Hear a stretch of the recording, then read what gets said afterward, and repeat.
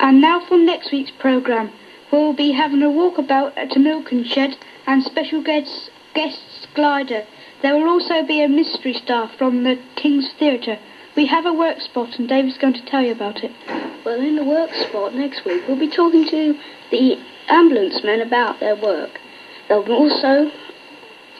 And now thanks to everyone. And the live music was from Richard Newton. News readers were Nigel and Marie. Special guest was Ian Stipe. Assistant engineer was Tina. Pres- presenters were David and Kevin. That's me and Kevin. Well, I'm just going to say something about the Dave Christian show. That's on at 2 o'clock, which is in a few minutes' time. But now we're going to say goodbye. Cool. Bye.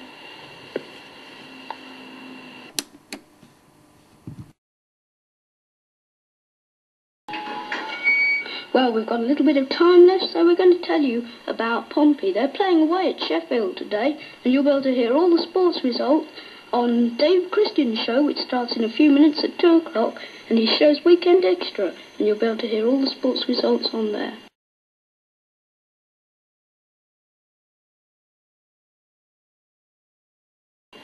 Thanks, Dave. And so we come to really the end of the programme, don't we, at last? Well, not at last, but uh, we're going to play out on a record that I think most people down here at Up to You think is absolutely super. I know Nicky does.